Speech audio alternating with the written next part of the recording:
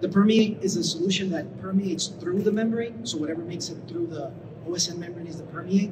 The retentate are the particles that accumulate, don't make it through the membrane. There are two main types of filtration processes, be it um, dead end or cross flow filtration. Dead end is filter paper, where the particles are retained on the surface of the filter medium. Cross flow or tangential filtration, the main difference is that there is no accumulation of particles. You have one inlet and two outlets versus like in a end filtration, you typically have an inlet and an outlet. So because there's no accumulation of particles, it is a self-cleaning filter. And the way it self-cleans is that whenever a particle perhaps lodges into the nanoparticles of the membrane, the pressure of the water rushing through the, or the solvent rushing through the membrane dislodges that particle and cleans the membrane.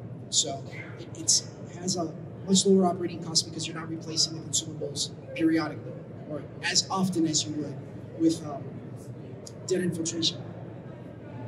What's nanofiltration? So there's different types of filtration sizes that you can do with membrane filtration. And so smallest pore size is generally with reverse osmosis as to where you can filter salts out of water.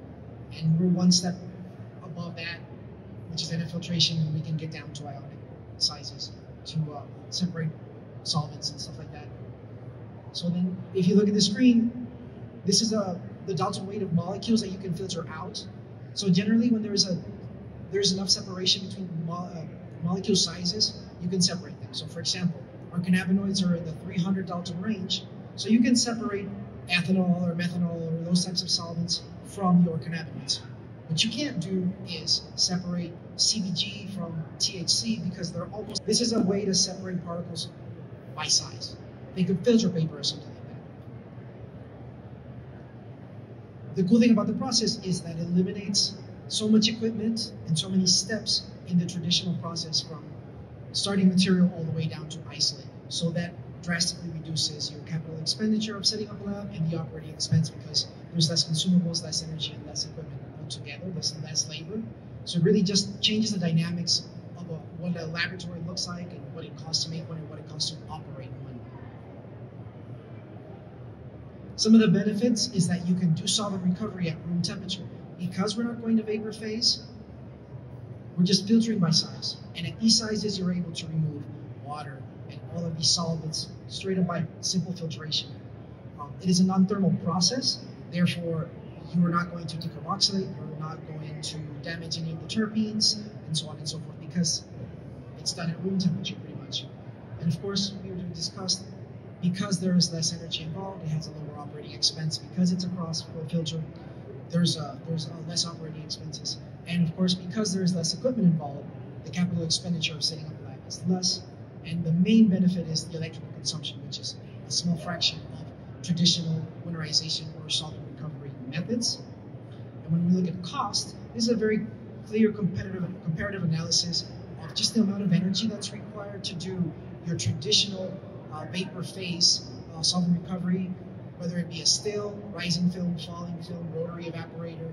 It is a magnitude of um, kilowatt hours versus dead infiltration, which is like filter paper, or nanofiltration. Desalination is a little bit more energy intensive because it uses higher pressures, but nonetheless, the most expensive by far to operate is when you're going into a vapor phase. What are the applications for membranes? You can do solvent recovery of pretty much any solvent from pentane down to water. You can do winterization. You can do uh, terpene isolation. You can actually remove terpenes and cannabinoids from water if you're doing like a solvent solventless based extraction, if you're doing like a ice water or a cold water extraction. There's color remediation where you can remove carotenoids and pigments and such. You can do, uh, there's lots of applications for kratom and kava, psilocybin, and there's applications with pentane, hexane, and heptane where you can remove sugars and things like that. You can really nitpick the particles that you want to um, target with this technology. Typical SOP with solvent recovery. Let's say I have a, cent a centrifuge uh, or a screw press based solvent extraction. We're going to take that extract and either filter it warm or room temperature. The colder you filter it at, the slower it is. So we're typically, if we're doing a cryo extraction, we'll wait for that solvent to reach room temperature before we begin filtering. And then we filter that, and it's a simple filtration. There is no heat applied to it or anything like that. And when you do it in this method, the membranes will generally, at the smallest uh, commercial sized membranes, will deliver something in the tune of 60 gallons per hour. And you can scale exponentially. You can easily do 800 gallons per hour. And obviously, the, the larger you scale, the more cost efficient the process is. Then winterization, it's a, it's, a, it's a broad term for what the process can do, but you can filter the general molecules that you filter out during the winterization process. This picture is uh, vapor static crude, and you can see the before and after of that uh, crude being winterized. And the process removes not just the traditional waxes and fats, but lipids, phospholipids, phosphatides, gums, chlorophylls, carotenoids, water soluble compounds, uh, sugars, uh, anything with a, polymeric material with a charge, things of that. So it's much more than just lipids, fats, and waxes. You can remove terpenes from ice water extracts, like I mentioned.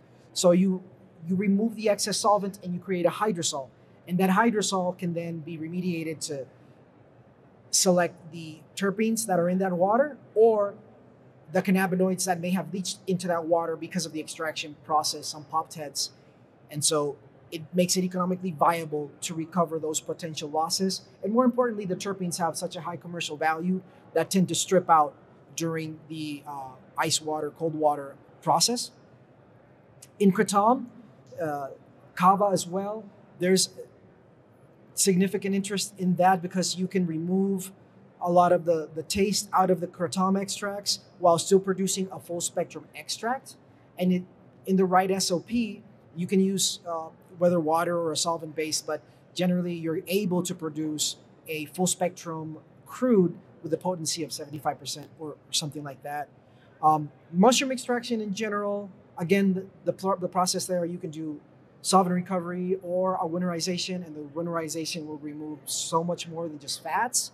And in solvent recovery, you know, whether it be a uh, water-based um, uh, mushroom extract uh, or a solvent-based, nonetheless, it removes all of that solvent, so your downstream processes can be more efficient. So, what are some of the hiccups that we've had in the past with the technology? You know, initially, when the membranes were new, they were extremely expensive. Just because of the manufacturing was new, there wasn't the volume for it. The technology was new. So the cartridges themselves were extremely expensive. Now they really have, they're a fraction of the price today. And you had some white label companies that simply would take a, an expensive membrane and just white label it and charge a cannabis premium to it, unfortunately. Then there was poor membrane selection. There wasn't just a lot of, there was not a lot of research on how the membranes performed over time. And so it's been a learning curve to find membranes that hold up over time and that are effective. And so throughout the years, the amount of solvent that you can filter has grown, has, has just increased. There was some fouling problems with the membranes. The expensive membranes would foul in, in a matter of weeks sometimes, and that increased the operating costs and just it was not feasible because of the cost and the short membrane life.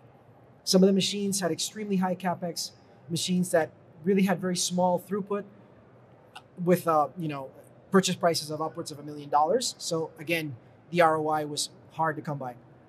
There was poor support. Just the companies that were selling the products didn't understand. They were not. They didn't have a lot of expertise in the field. Um, the design was poor, so they didn't perform as good as they could have because a lot of the manufacturers were not membrane companies. So they just saw the potential and stood by it, but unfortunately just didn't have the experience to really fully scale the, the technology as it should have been. There were poor SOPs. They didn't understand how these things needed to be cleaned, how they needed to be maintained, you know, how they could run, how long they could run for, and so on and so forth. And then generally overselling to the customer what the technology could and couldn't do. So the expectations were just um, unrealistic. What are the, some, uh, some of the opportunities in membrane filtration? So, like I said, kava and kratom and, and, and those botanicals in general, there's a lot of uh, potential there to winterize and, and just make a cleaner product, cheaper, faster, of higher quality. Just mycology in general, not just psilocybin based uh, uh, mushrooms, but mycology in general. There's a lot of uh, interest in, in, in, all kinds of beverages that are derived from the mycology industry that can greatly improve from the technology. Uh, we've been involved in projects where we're taking protein from algae that is being used for protein drinks. There's all types of new extracts every day, new types of applications where this can go into. And very soon, there's a ton of um, very smart people that are doing research on how to deploy membranes with BHO. So you could have a BHO system that has membranes incorporated in line instead of using powders for CRC and whatnot.